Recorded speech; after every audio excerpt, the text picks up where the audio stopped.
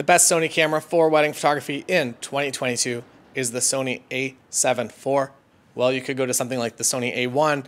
It is far more expensive and gives you things that you don't really need as a wedding photographer. The autofocus, everything is incredible. I'm actually recording this on the Sony a7 IV. If you're interested, there's a full behind the scenes wedding day over on the channel right now. Uh, so check that out if you're interested. See you next time.